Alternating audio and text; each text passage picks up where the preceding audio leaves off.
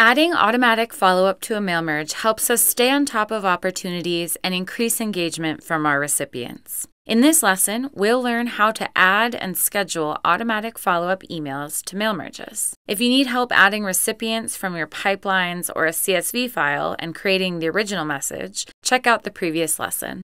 Once you've set up your first message, you can schedule automatic follow up messages to your recipients if you don't get a reply from them. To get started, switch to the Messages tab in the Mail Merge panel and click Add Follow Up.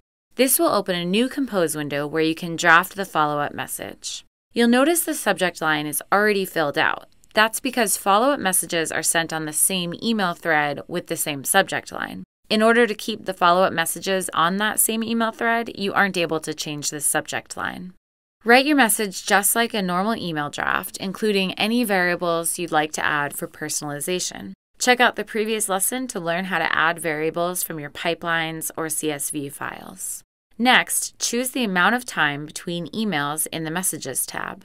This is the number of days that Streak will wait for a reply from your recipients before sending a follow up message. You can also choose whether you want to include weekends and holidays, or only business days, which are Monday through Friday, except for North American holidays. Finally, you can choose what time to send the follow up message. The options are in 15 minute intervals, which means your message will be sent within that window of time. They're also sent in your time zone, which you can confirm in the menu options.